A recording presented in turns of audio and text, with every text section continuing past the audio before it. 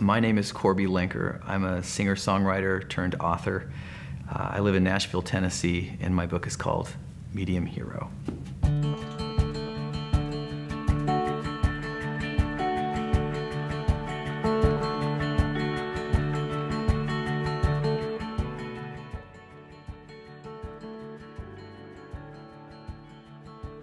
Um, I, yeah, I think that there are a lot of recurring themes in the stories, and um, many of them have to do with uh, things being beautiful unto themselves um, in small, everyday ways. I think that when I'm around people, like in everyday life, I think people think I'm a upbeat, positive thinking, friendly individual. But um, a lot of times I'm just being brave, you know, like everybody is when they go into public.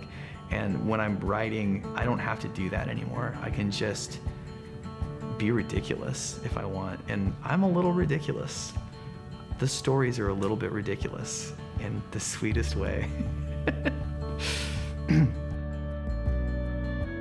it's true, I had a, a bit of an unusual childhood in the sense that my father was and is a funeral director, um, but we always called him a mortician. And for that reason, my parents, being my parents, mm, they didn't really pull any punches or hide things away from the kids. Um, I hung out at the mortuary a lot. Me and my brother used to play in the caskets. As I got older, um, there were other things that I saw that were a little more, you know, more graphic than Grandma died in her sleep.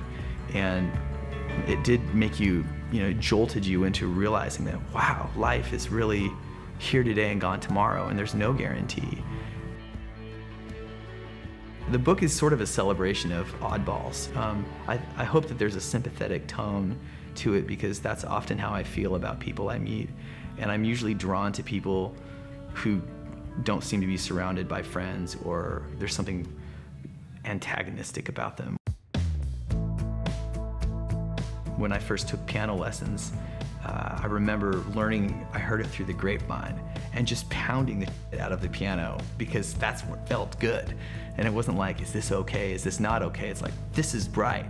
And this, the same thing with the, with the book. I've you know, wanted to go that way. And why is that? Mm, I'm not really sure. It's because I wanted to do it. I'm not trying to be the next F. Scott Fitzgerald. I'm not trying to be anything. I'm just trying to write another good story and write another good song. The rest can take care of itself. I think that people write for all different kinds of reasons, and some of them write to find out what they think. And I am one of those people. I don't really know what I'm doing and what's going on, and I never really want to claim otherwise. But sometimes you have things shown you that hint at where you might want to go.